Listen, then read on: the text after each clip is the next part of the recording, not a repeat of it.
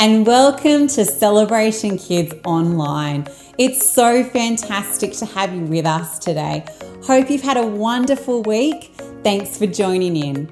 Today, we are going to have a look at the power of unity. Hmm, I wonder, what does unity mean?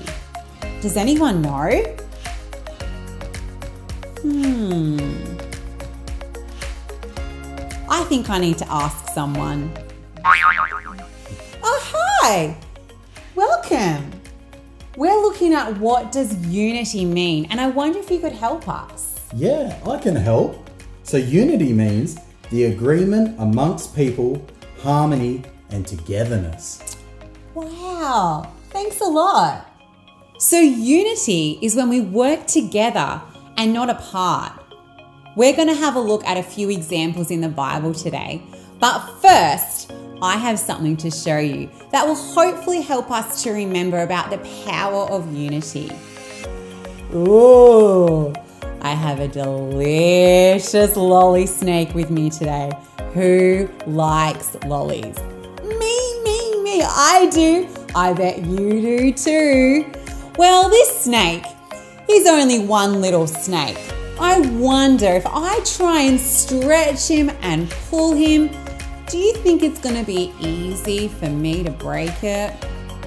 Yes, I think so too. Let's have a look. Mm, oh, wow. That was pretty easy. But I wonder if I put three snakes together, do you think I'll be able to break that as easily? Let's have a look. Here are my three snakes and I've twisted them together. Let's see. Oh, what do you think? Do you think it's going to be hard for me to pull these apart? Yes, I think so too. I think it's going to be really, really hard. Look, I'm pulling with all my might just with a one snake. Oh, oh man. That was so much harder. Do you know why? Because they're stronger and better together.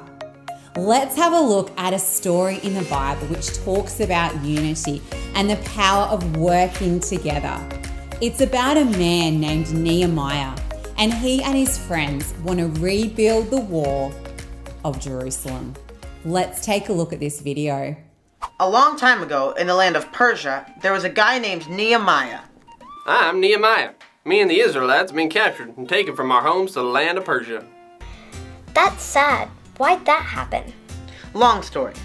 I'll tell you later. Now let's get back to Nehemiah. I've been given the job of the king's cupbearer. That means I give him his wine. One day, Nehemiah found out the wall around his city he used to live in was broken down and completely destroyed. God, this is really bothering me. I want to rebuild this wall. If you want me to, then let the king give me permission to go back and rebuild it. Later on, Nehemiah was serving the king his wine. Nehemiah, you've never looked this sad before. What's up? I want to rebuild the wall in Jerusalem. Will you give me permission to do it? Go ahead. I'll give you the things you need. I'm glad the king said yes. Yeah, me too. Anyway, when Nehemiah got to Jerusalem, he found out that there was no way he could rebuild the wall all by himself. This wall is huge. Plus, those guys, Sanballat and Tobiah, are trying to stop me from rebuilding it. I'm gonna need some serious help. Hey everybody! This city's not looking so good. Let's rebuild the wall. God has helped me because I got the king's permission to do it. So what are we waiting for? All right! Let's rebuild the wall! And faster than anyone thought they would, Nehemiah and his friends rebuilt the wall. And the guys that were trying to stop them never did. The end. Wow! How cool was that? That they were able to build the wall so much quicker together than if they'd built it by themselves. That shows us that when we work together, we're able to accomplish amazing and great big things for God. How cool is that? Hmm, I wonder, What's something you can do better with others than by yourself? I know for me, playing sport by myself isn't lots of fun.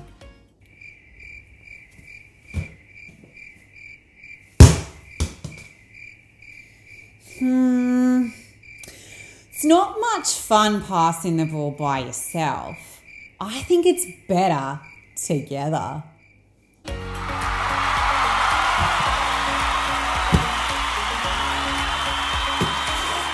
Yeah!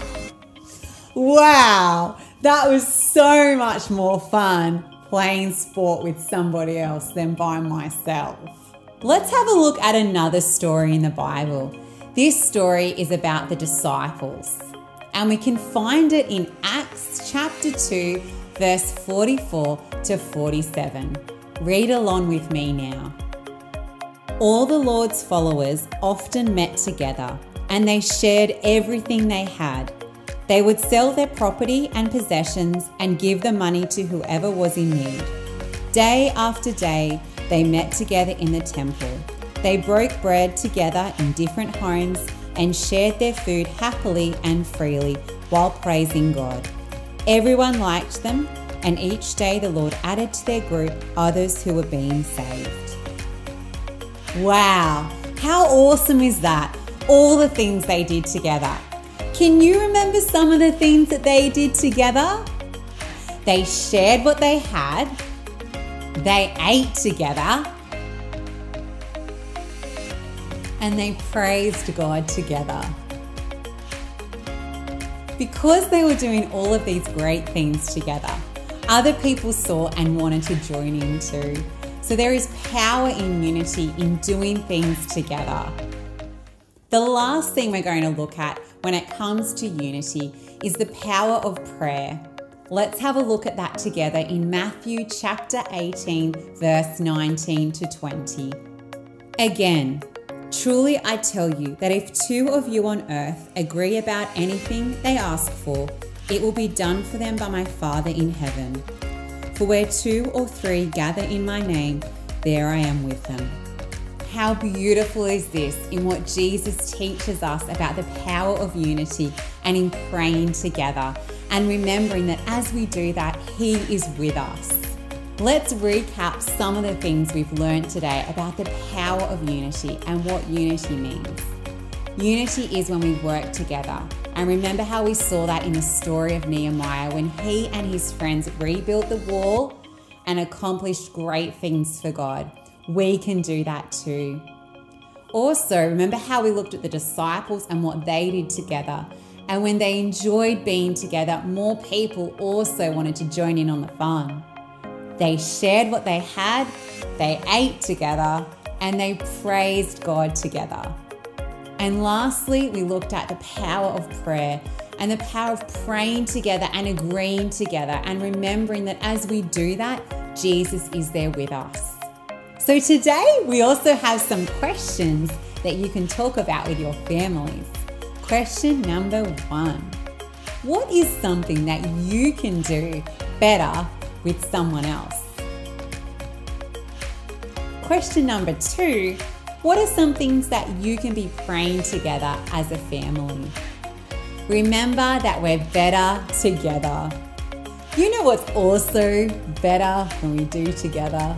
When we have fun together. Last week, there was a family from Celebration Kids that showed us an awesome dance party they had in their lounge room.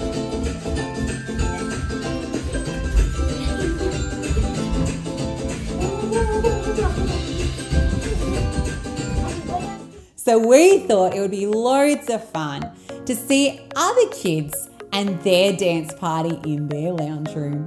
So, if it's okay with mum and dad, we're now going to get up, have a dance party, and they can film along and tag it to We Will Celebrate Kids. Come on, get up, let's dance together. You know what? I need someone else to dance with me so I can do it together too. Oh, all right, well, let's dance.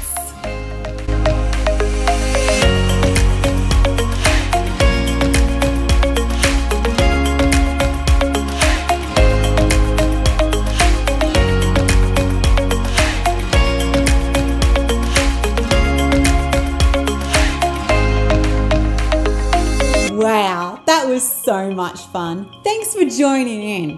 Hope you had lots of fun at home too, dancing. Also, make sure you check out We Will Celebrate Kids Instagram for lots of more activities you can do this week with your families. Thanks for joining us for another We Will Celebrate Kids online. It's been so much fun having you with us. We pray you have such a fantastic week and we'll see you next time. Bye, everyone.